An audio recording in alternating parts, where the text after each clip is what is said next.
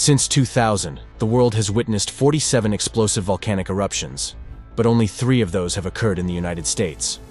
All three took place in Alaska, far from the country's major urban areas.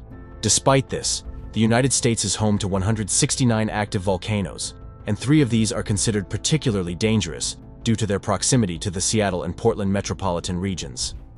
This raises the question, when might the next significant eruption occur, and why is Mount Rainier especially concerning?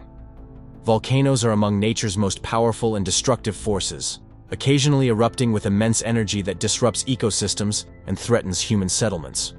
Although the United States is part of the Pacific Ring of Fire, a region known for its intense tectonic activity, it has largely escaped major volcanic disasters in recent history.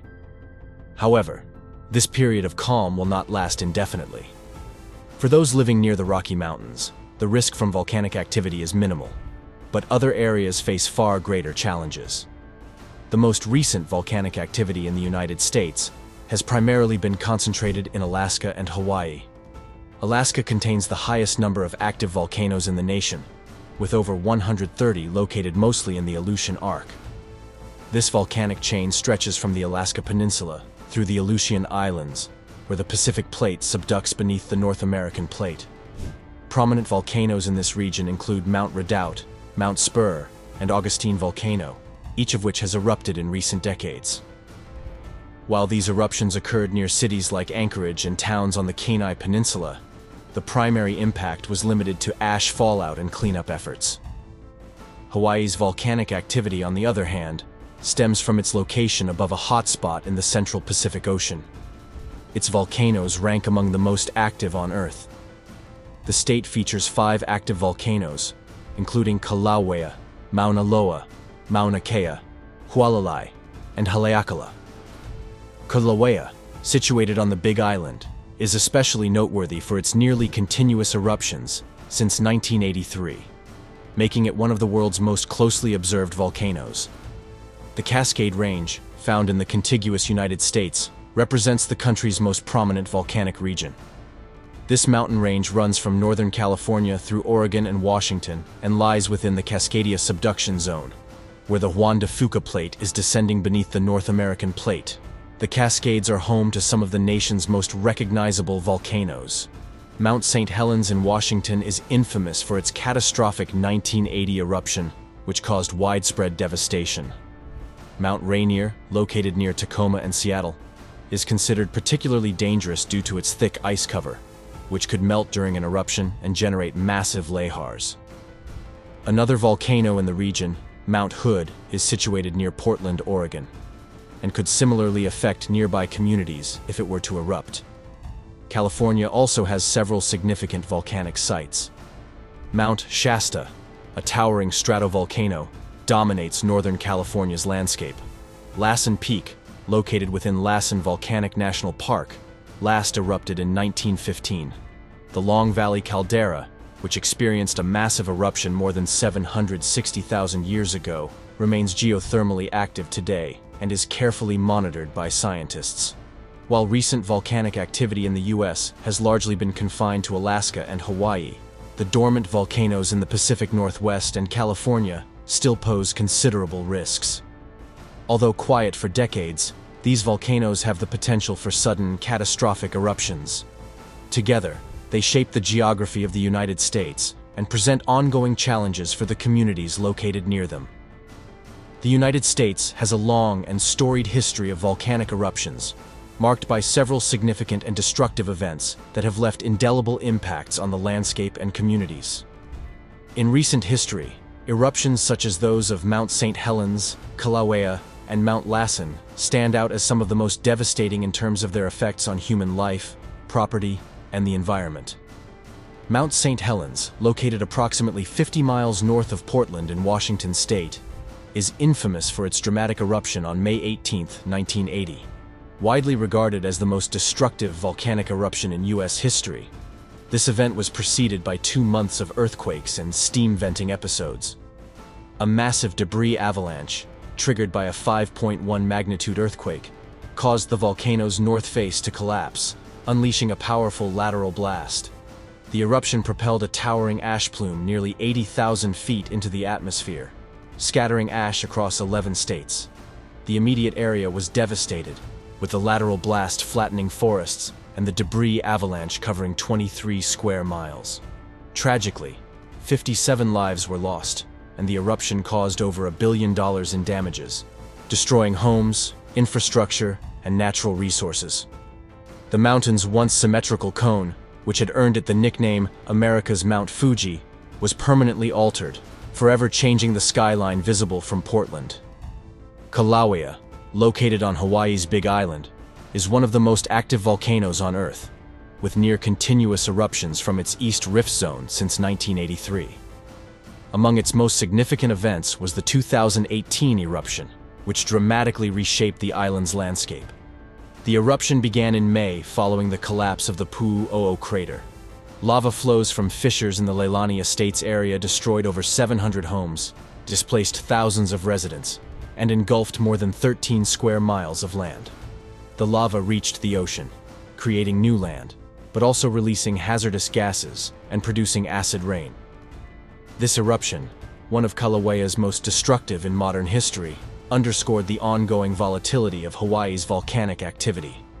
Since then, Kilauea has erupted nearly every year except 2022, maintaining its reputation as a persistent force of nature.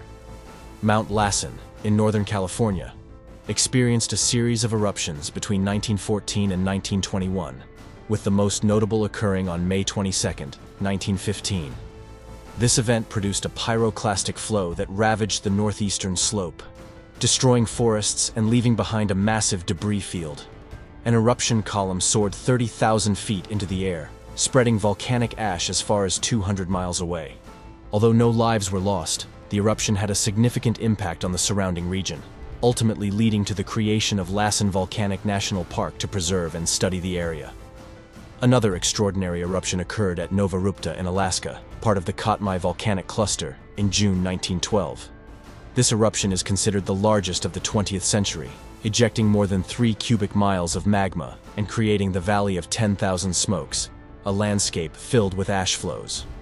Fortunately, the remote location spared any human casualties, but the eruption profoundly affected the region's ecology and geology, leaving a legacy that scientists continue to study. Despite being a volcanically active nation, the United States has, in recent decades, largely avoided catastrophic volcanic disasters. However, this does not guarantee continued safety, particularly when considering the Cascade Range. Stretching from Northern California through Oregon and Washington, the Cascades are among the most dangerous volcanic regions in the country. This area's risk is heightened by its proximity to major urban centers, including Portland, Seattle, and Tacoma, which lie near active volcanoes such as Mount St. Helens, Mount Hood, and Mount Rainier. Mount St. Helens, roughly 50 miles northeast of Portland, serves as a stark reminder of the devastation these volcanoes can unleash. Its catastrophic 1980 eruption, which claimed 57 lives and caused extensive damage, remains etched in history as a potent example of the power and unpredictability of volcanic activity.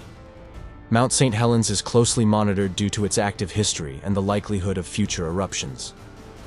While scientists agree that it will erupt again, the exact timing and magnitude remain uncertain. When it does erupt, its effects will likely be visible from Portland, underscoring the importance of its surveillance. Just 50 miles from Portland, Mount Hood, the tallest mountain in Oregon, is another active volcano with the potential to erupt in the future, despite remaining dormant since the 1790s. The primary concern with Mount Hood is the threat of lahars, or volcanic mudflows, which could severely impact surrounding areas, including parts of the Portland metropolitan area.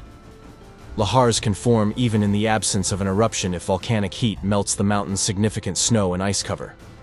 However, it is Mount Rainier, located approximately 60 miles southeast of Seattle and Tacoma, that poses one of the greatest volcanic threats in the United States. Towering at 14,411 feet, it is the highest peak in the Cascade Range and is heavily glaciated. An eruption or significant seismic event at Mount Rainier could unleash massive lahars capable of reaching the densely populated areas of Seattle and Tacoma. Historic lahars from the volcano have traveled as far as Puget Sound, and current studies suggest that similar events could cause catastrophic damage to infrastructure and communities. While the likelihood of a lahar directly reaching Seattle is low, the potential consequences remain a significant concern. The risks associated with these volcanoes extend beyond the immediate effects of eruptions, such as pyroclastic flows and ashfall.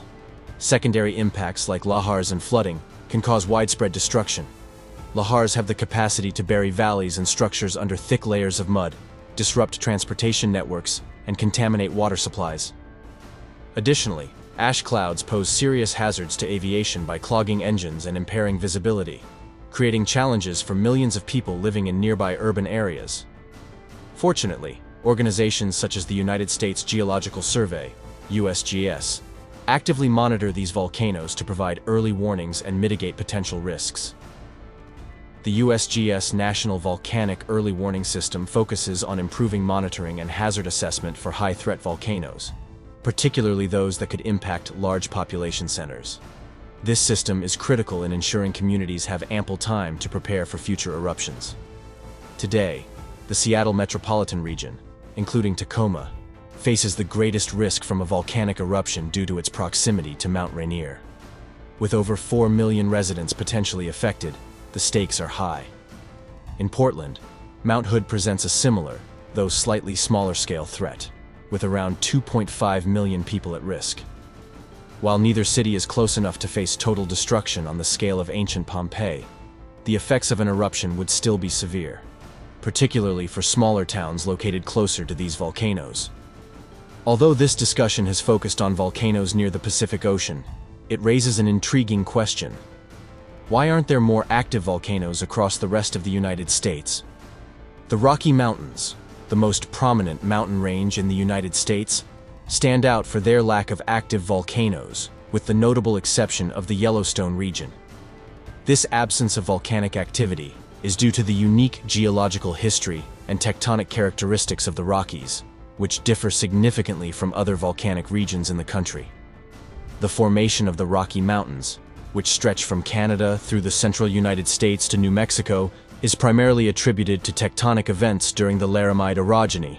This period, which occurred approximately 80 to 55 million years ago, was marked by the collision and compression of the Pacific Plate beneath the North American Plate. These processes led to the uplift and formation of the Rockies, creating a range primarily composed of sedimentary, metamorphic, and ancient igneous rocks rather than the younger, more volcanically active rocks found in the Cascade Range. Additionally, the Rockies are located within the interior of the North American Plate, far from the Pacific Ring of Fire, where the majority of the world's volcanoes are concentrated. This intraplate location means that the tectonic forces required to generate and sustain active volcanoes are largely absent. Yellowstone National Park, situated on the eastern edge of the Rockies, is a notable exception due to its position over a volcanic hotspot. The Yellowstone caldera, a supervolcano, is one of the few areas in the Rocky Mountains with significant volcanic activity. Over the past two million years, this hotspot has produced several massive eruptions, with the most recent occurring approximately 640,000 years ago. However, the volcanic activity associated with Yellowstone is a localized phenomenon and does not reflect the broader geologic nature of the Rockies. In essence, the Rocky Mountains were formed through tectonic processes that did not depend on volcanic activity in the same way the Cascade Range did. Outside the Yellowstone caldera, the Rockies are considered relatively safe from the threat of volcanic eruptions. Meanwhile, the Cascade Range remains a high-risk volcanic region. Eruptions are inevitable, with Mount St. Helens being the most likely candidate for future activity. However, if Mount Hood in Oregon or Mount Rainier in Washington were to erupt, the nearby metropolitan areas of Portland and Seattle could face significant challenges and potential devastation. So, could an eruption at Mount St. Helens? Helens, Mount Hood, or Mount Rainier trigger eruptions at the other volcanoes. The eruption of Mount St. Helens, Mount Hood, or Mount Rainier is highly unlikely to trigger the eruption of the others. Although these volcanoes are part of the Cascade Range and share a connection through the Cascadia subduction zone, each operates as an independent volcanic system with its own magma chamber. These magma chambers are distinct and isolated, meaning activity in one volcano does not directly influence the magma systems of the others. the tectonic setting of the Cascadia subduction zone, where the Juan de Fuca plate subducts beneath the North American plate, provides the conditions for volcanic activity across the region. However, while this subduction process powers the volcanoes, it does not synchronize their eruptions. Historical evidence supports this. For example, the 1980 eruption of Mount St. Helens, one of the most significant volcanic events in U.S. history, did not trigger eruptions at nearby volcanoes like Mount Rainier or Mount Hood, Rainier. Similarly, past eruptions of Mount Hood and Mount Rainier did not lead to activity in other Cascade volcanoes. Although direct triggering is improbable, large volcanic eruptions can cause minor regional effects, such as redistributing stress in the Earth's crust. However, this stress redistribution is typically localized and unlikely to influence a nearby volcano's magma chamber significantly. Other impacts, such as ash or debris deposition, can affect ecosystems or water supplies in the surrounding areas, but they do not trigger eruptions. In a nutshell, while the volcanoes of the Cascade Range share a common tectonic origin, each volcano's activity is independent. Monitoring each volcano individually is essential, as the region remains a high-risk zone for volcanic events. If you found this exploration of Mount Rainier fascinating, don't forget to like, subscribe, and hit that notification bell to stay updated on all our upcoming geology, space, natural disasters, and the forces that shape our world. Thank you for watching, and stay curious.